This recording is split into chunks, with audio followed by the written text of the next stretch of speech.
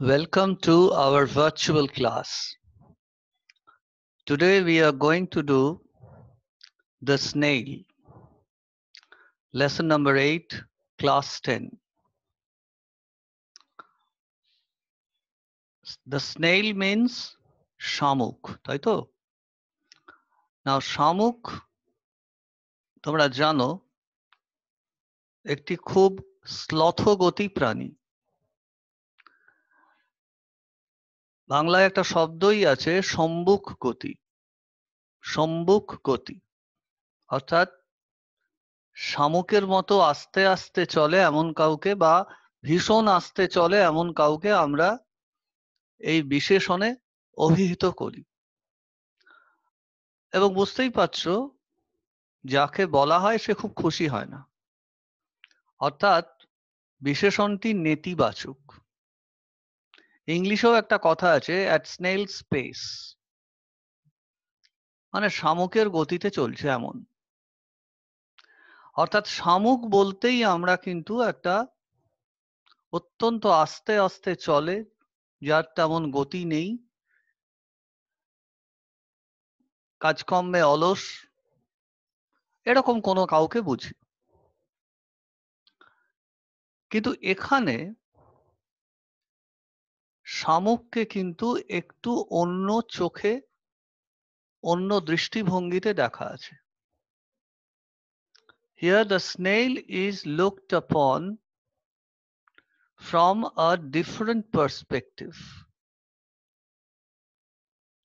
here the snake sorry the snail is a kind of recluse একটি নির্জনবাসী প্রাণী বা মানুষ মানে এখানে মানুষ তো আর নয়, মানুষের রূপক হিসেবে স্নেলকে ব্যবহার করা আছে।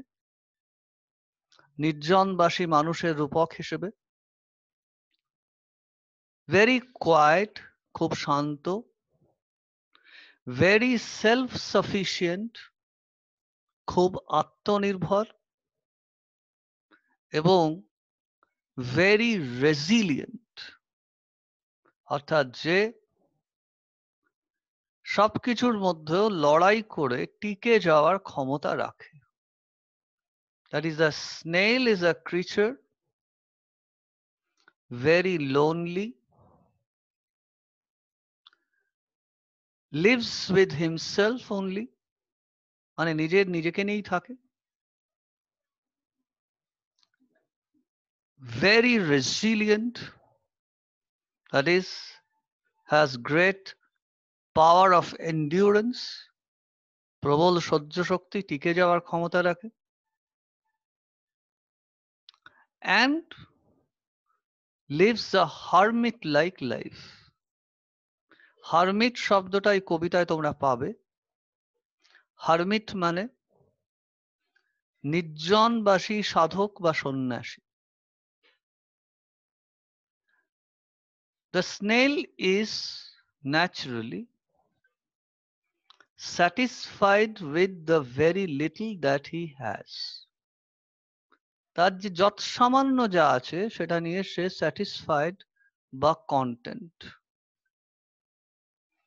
when is the snail angry or displeased কখন সে রেগে যায় বা অখুশি হয়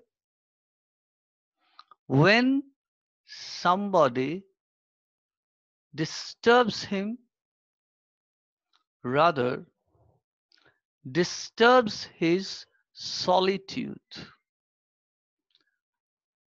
যখন কেউ তাকে বিব্রত করে বা তার নির্জনতাকে বিব্রত করে তখন সে একটু অখুশি হয় বা রেগে যায় এখন অখুশি হলে কি করে What does he do when he is upset? He shrinks. That is, he recoils. নিজেকে গুটিয়ে ফেলে শ্রিঙ্ক বা রিকয়েল মানে নিজেকে গুটিয়ে ফেলা হি shrinks into his own shell এই শেল, তার যে খোলস that is his only belonging or chattel সেটাই হচ্ছে তার একমাত্র নিজস্ব জিনিস। He has nothing more he wants nothing more অর্থাৎ এখানে স্নেলের মাধ্যমে কিন্তু এক ধরনের মানুষের স্তুতি বা প্রশংসা করা আছে। যারা খুব অল্পে সন্তুষ্ট, যারা নিজেদের মধ্যেই, নিজের মধ্যেই নিজে থাকে, নিজেদের নয়, কিন্তু যাদের প্রবল জুঝে যাওয়ার ক্ষমতা আছে। এবং যারা ভীষণভাবে আত্মনির্ভর those who are resilient and self dependent This poem is a salute not only to the snail, the creature, but also to this type of people that we see rarely in our society or around. এই কবিতার মাধ্যমে শুধু স্নেলকে salute করা হচ্ছে বা স্নেলের প্রতি শ্রদ্ধা বা সম্ভ্রম নিবেদন করা হচ্ছে তা নয় এই ধরনের মানুষ যারা আমাদের চারপাশে আসে, আছে, যাদেরকে খুব কমই দেখা যায়, এই ধরনের মানুষদের প্রতিও কিন্তু শ্রদ্ধা বা সম্ভ্রম জানানো আছে। এখন চলো তাহলে আমরা কবিতাটা পড়া শুরু করি।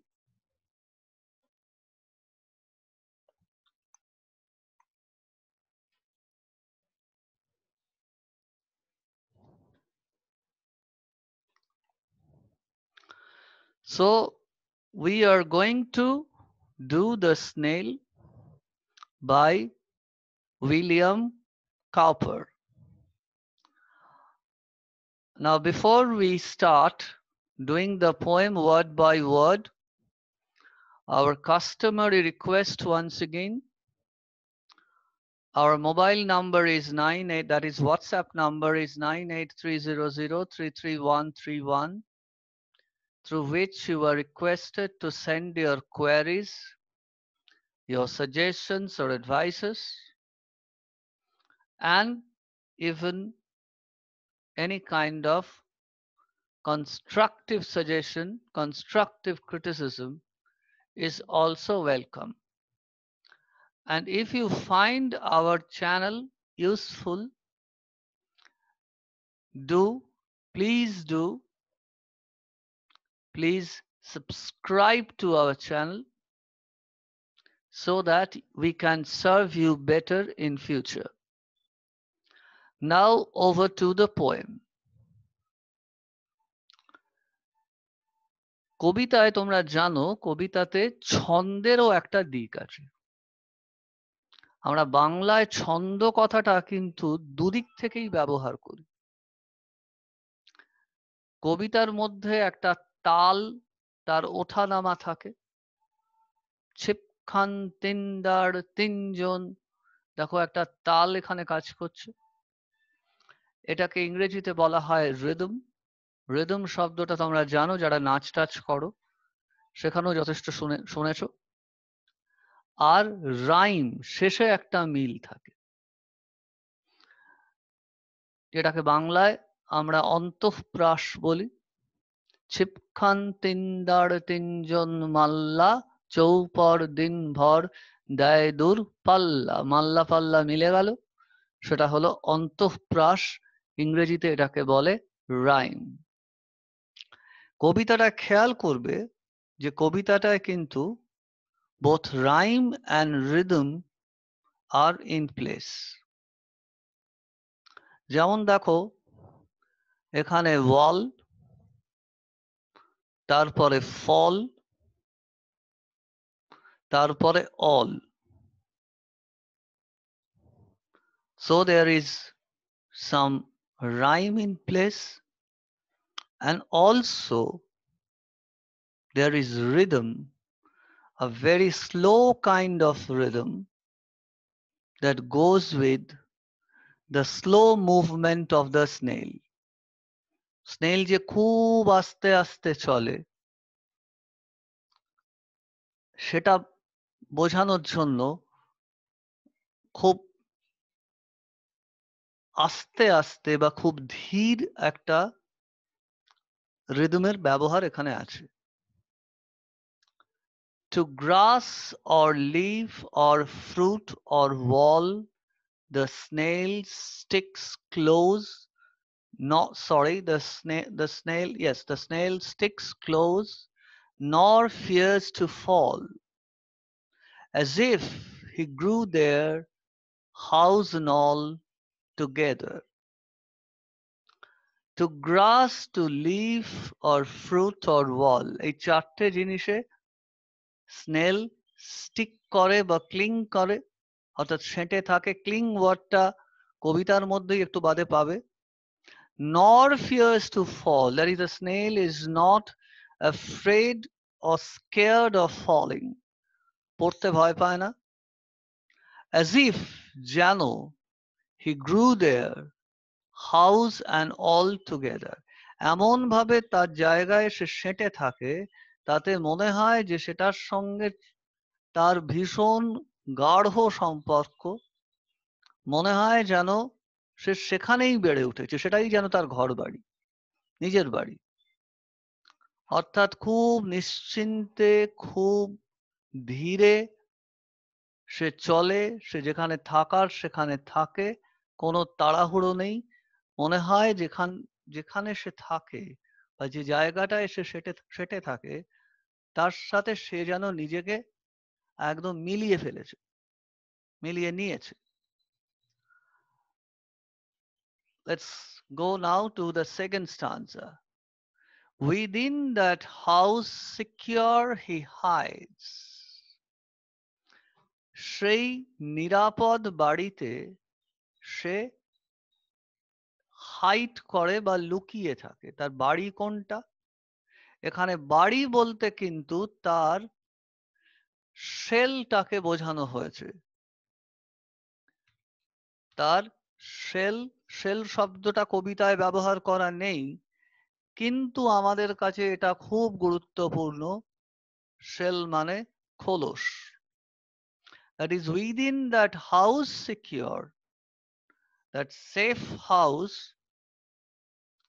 actually refers to the shell of the snail when danger imminent betides of storm when danger imminent, danger বা পেরিল মানে বিপদ, imminent মানে যেটা কামিং আসন্ন। Betides of storm. যখন আসন্ন ঝড়ের বিপদ থাকে, ঝড়ের পূর্বাভাস থাকে, তোমরা জানো সাধারণত প্রাণী জগৎ, যে কোনো রকমের প্রাণী, প্রাকৃতিক বিপর্যয় যেগুলো আসে সেগুলো সম্পর্কে মানুষের থেকে আগে কিন্তু আন্দাজ করতে পারে and probably the the snail also understands that a danger is on a danger is coming and when that happens he recoils or shrinks into his own shell. He hides, লুকিয়ে থাকে in his own shell. Betide tide মানে হচ্ছে খবর.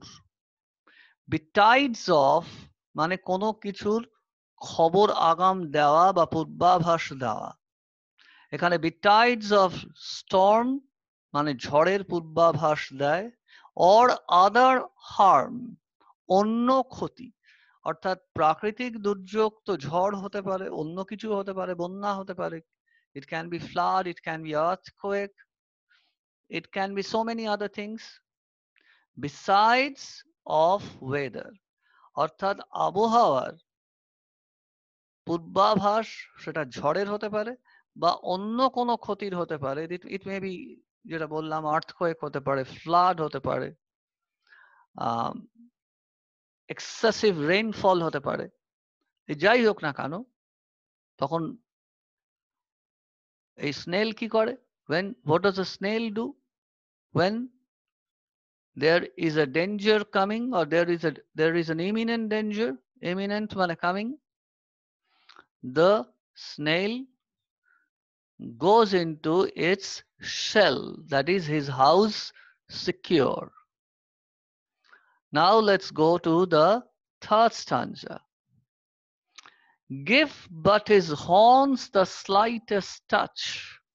Horn শব্দটার মানে তোমরা পড়েছ সিং হিসেবে মানে গরুর সিং কিন্তু এখানে কিন্তু সেই অর্থে নয়, এখানে স্নেলের তো আর সেরকম অর্থে সিং নেই, স্নেলের সুর আছে। এই সুরটাকেই এখানে হর্নস বলছে, সুরের জন্য যে ইংরেজিগুলো মোটামুটি চলে, একটা হচ্ছে ফিলার, আরেকটা হচ্ছে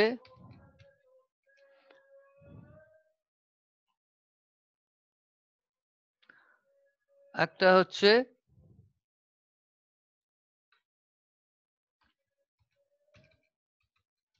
ফিলার আরেকটা হচ্ছে, এই শব্দটার সাথে তোমরা পরিচিত।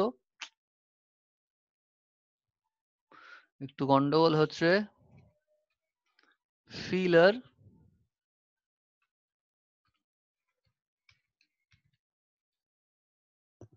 বা অ্যান্টেনা। The slightest touch. মানে তার ওই সুরে সামান্যতম স্পর্শ দাও, যেটা স্নেলকে ভীষণভাবে বিব্রত করে। কারণ snail by nature it seems is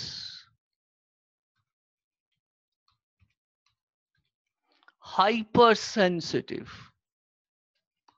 অতি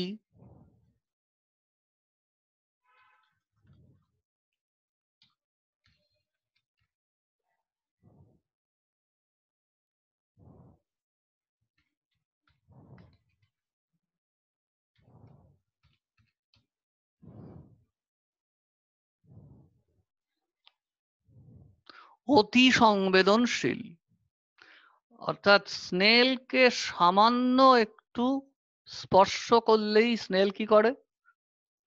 His self collecting power is such তার নিজেকে গুছিয়ে নেওয়া বা গুটিয়ে নেওয়ার ক্ষমতাটা এমন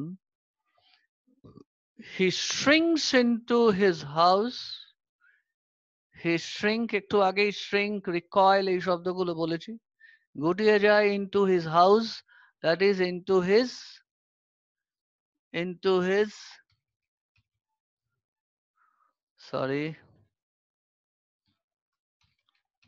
into his shell with much displeasure displeasure irritation এগুলো মানে বিরক্তি মানে তার ভীষণ বিরক্ত লাগে যদি কেউ তাকে touch করে even the slightest of touches makes him shrink into his own shell. So it seems that the snail loves his solitude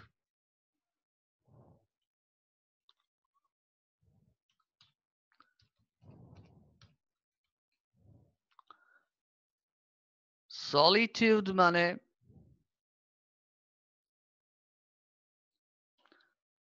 solitude মানে হলো নির্জনতা। The snail loves his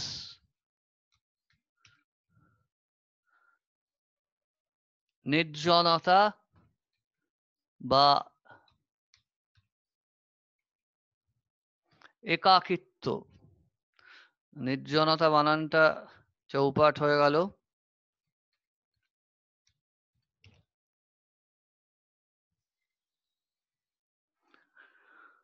That is snail loves his solitude and tries to preserve his solitude tries to protect his solitude by all means যে কোনো উপায়ে সে তার নিজের নির্জনতা বা একাকিত্বকে রক্ষা করতে চায়। Next answer wherever he dwells he dwells alone. যেখানেই সে থাকে, কীভাবে থাকে? ডোয়েল মানে হচ্ছে রিসাইড বা থাকা। Whenever he wherever he dwells he dwells alone. সে যেখানেই হোক না কেন একাই থাকে except himself has shattles none. শ্যাটল মানে যে দেখো লেখা আছে মুভেবল প্রপার্টি বা অস্থাবর সম্পত্তি। যে সম্পত্তিটা তুমি এদিক ওদিক নিয়ে যেতে পারো। তোমার বাড়িটা কিন্তু তোমার স্থাবর সম্পত্তি, অস্থাবর ইমুভেবল প্রপার্টি কিন্তু তোমার গয়নাগাটি, গয়নাগাটিকে অবশ্য ঠিক প্রপার্টি সবসময় বলা হয় না। ঠিক আছে?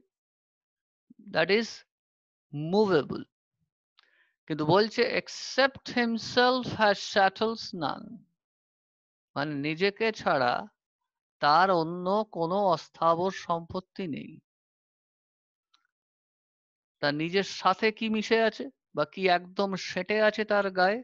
তার শেল যেটাকে বারবার বলা হচ্ছে হাউস বা হাউস সিকিওর ওই সেটা ছাড়া তার কিন্তু আর কিচ্ছু নেই। সে একা থাকে এবং নিজের সাথে নিজে থাকে। Well satisfied to be his own treasure সে নিজেই নিজের কাছে বিরাট একটা ট্রেজার বা সম্পদ। ওয়েল স্যাটিসফাইড সন্তুষ্ট বা কন্টেন্ট ওয়ার্ডটা ব্যবহার করা যেতে পারে টু বি হিজ হোল বা এন্টায়ার ট্রেজার দ্যাট ইজ সে যেখানেই থাকে, সেখানে একা থাকে। সে নিজেকে নিয়ে সন্তুষ্ট থাকে। সে নিজে ছাড়া, অর্থাৎ সেই খোলস, শুদ্ধ নিজেকে, নিজে ছাড়া তার এছাড়া আর কোনো সম্পত্তি নেই অর্থাৎ he lives a hermit like life an ascetic life very simple life and well satisfied or content with the very little that he has. Next stanza. Thus, hermit like, his life he leads. সে নির্জনবাসী সাধকের মতো তার জীবনটা যাপন করে nor partner of his banquet needs banquet মানে দেখো এখানে দেওয়া আছে ভোজ সভা তোমরা যারা শহরাঞ্চলে থাকো ব্যাংকোয়েট হল বা ব্যাংকোয়েট ডিনার এসব শব্দের সাথে বা শব্দ বন্ধের সাথে তোমরা পরিচিত। মানে বড় সড়ো বেশ হল যেখানে বেশ সাঁটিয়ে খাওয়া দাওয়া হচ্ছে এসব গুলোকে আমরা ব্যাংকোয়েট বলি। এখন বলতে চাইছে যখন সে খেতে বসে বা কিছু খায়, তখন তার কোনো পার্টনারের দরকার হয় না। That is he feeds alone এখন এই ফিড শব্দটা সাধারণত খাওয়ানো অর্থে বোঝায়। লাইক ফিডিং বটল যে বোতলটা দিয়ে বাচ্চাকে দুধ খাওয়ানো হয়, সেটাকে আমরা ফিডিং বটল বলি। ফিড অন মানে কিছু খেয়ে বেঁচে থাকা। লাইক টিকটিকি ফিডস অন পোকা। টিকটিকি পোকা খেয়ে বাঁচে কিন্তু এখানে কিন্তু বা অনেক জায়গাতেই কবিরা অনেক সময় কবিদের তো একটু স্বাধীনতা থাকে ফিডটাকে কিন্তু খাওয়া অর্থেই ব্যবহার করেন And if he meets one, only feeds the faster. অর্থাৎ সে যেহেতু একাকিত্বটা পছন্দ করে সে যেহেতু অন্যের সাথে থাকতে চায় না। এখন খাওয়ার জায়গায় তার পাশে যদি কেউ চলে আসে, সে কি করে? সে তাড়াতাড়ি খায়, খেয়ে কোনো মতে জায়গা চলে, ছেড়ে চলে যায়। অর্থাৎ হি badly wants to keep his solitude নেমন্তন্ন বাড়িতে দু একজন রামগরুরের ছানা দেখেছ? হাসতে যাদের মানা, তারা কি খুব আড্ডা দিতে দিতে বেশ মস্তি করে আস্তে আস্তে খাবে? নিশ্চয়ই না। তারা যেহেতু এইসব লোকজনের সাহচর্য, সঙ্গ ইত্যাদি পছন্দ করে না, তারা খুব তাড়াতাড়ি খেয়ে জায়গা থেকে সরে যাবে। And they will again find some place where they can be to themselves. এই শামুকের ব্যাপারটাও তাই। অর্থাৎ এই শামুকের মধ্য দিয়ে কিন্তু এই ধরনের মানুষদের কথা কবি বলছেন।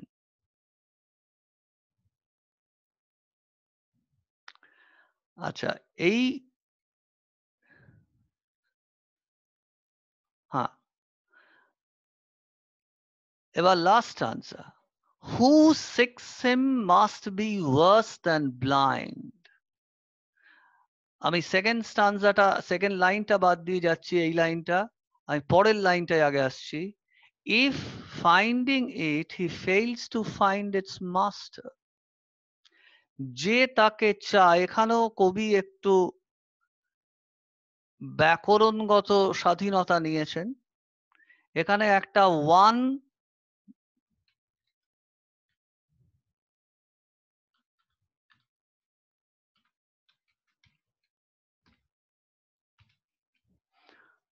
এখানে ওয়ান বা হি এরকম কিছু দিলে ব্যাকরণের দিক থেকে ঠিক হতো। কিন্তু কবিরা সবসময় ব্যাকরণকে পাত্তা দেন এমন নয়।